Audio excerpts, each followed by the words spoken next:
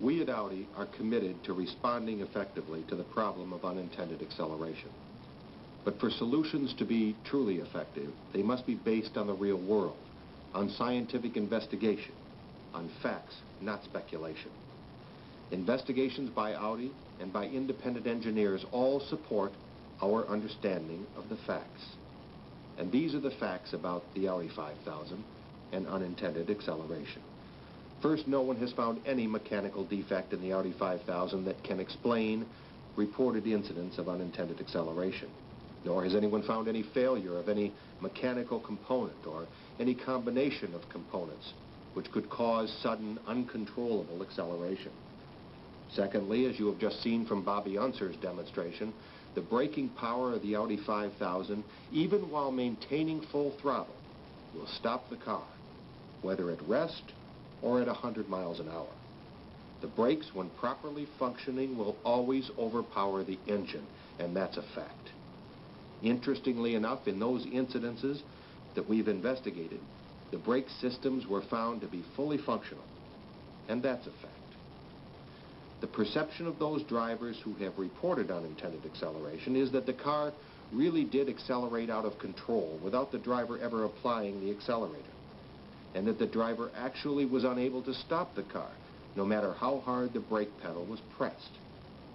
That combination of events simply will not happen. As Bobby Unser has just shown, the brakes of the Audi 5000 can always overpower the engine even at full throttle. Now, we recognize that many people have advanced numerous possible theories to explain unintended acceleration, but after extensive investigation, the hard facts are that the only tangible evidence points to the misapplication of pedals. Now, I'm not blaming our customers nor accusing our drivers of not knowing how to drive. Nevertheless, I am confident that an effective way to reduce substantially any possible driver confusion is to make the driver put his foot on the brake at the beginning of the startup sequence. And Audi's automatic shift lock does just that. It's an innovative mechanical device which will help prevent the driver from accidentally depressing the wrong pedal during the normal starting sequence and when moving the shift lever from park. Our engineers confidently predict that this device will prevent unintended acceleration in the great majority of cases. All 1987 Audi 5000 models with automatic transmission are now equipped with the automatic shift lock as standard equipment. On pre-1987 models, Audi dealers have already installed the shift lock on nearly 100,000 cars at no charge to the owners.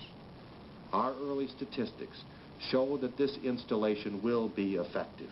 We believe that installations of the automatic shift locks are responsible, innovative approaches, and we are confident that the shift lock will perform as designed. The Audi 5000 has an impressive safety record, and I'm confident that as the real story about unintended acceleration emerges, a story based on scientific investigation and not speculation, the Audi 5000 will continue to be recognized as one of the finest automobiles in the world. I hope this film will help you share in our confidence. Thank you very much.